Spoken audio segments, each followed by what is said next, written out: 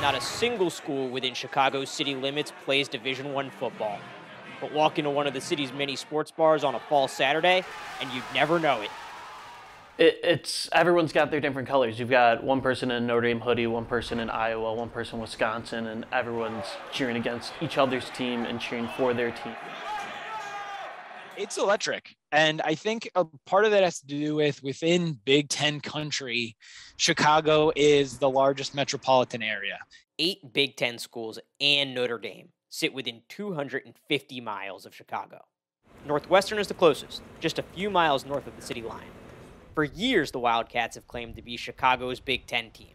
But with so many schools in close proximity, that claim is a contentious one. Who is Chicago's team? Is it really Northwestern? there's like more Illinois and Michigan fans. But when I think if you look at a, a, school that's embraced the city of Chicago and how the city of Chicago has embraced a college, it would for sure have to be Northwestern.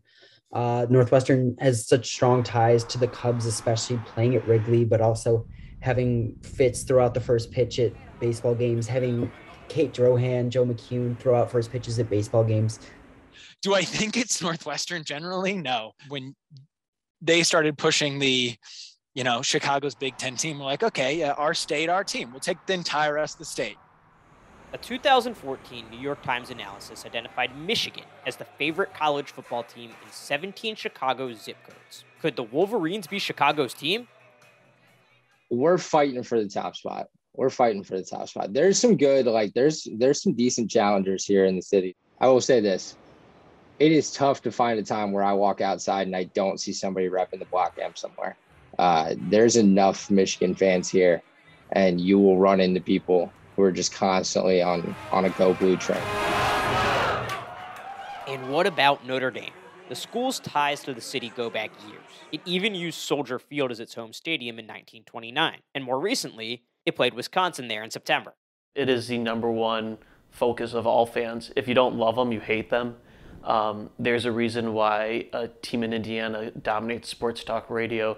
This week, when Notre Dame's coach is going away, everyone has an interest in Notre Dame. Love them, hate them. They are the focus of college sports in Chicago.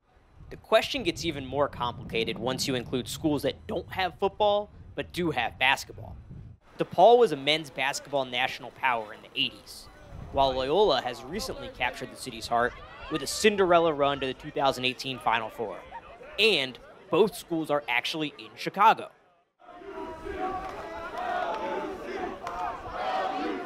You can feel when Loyola plays that even if nobody in the bar has an affiliation there, that like the city wants to see them do well. This seems like one mystery that just won't be solved. But one thing is clear no matter who they're rooting for, Chicagoans love college sports. It feels like now Chicago's kind of this hub of just like it's a lot of Midwest people who love the hell out of their sports teams.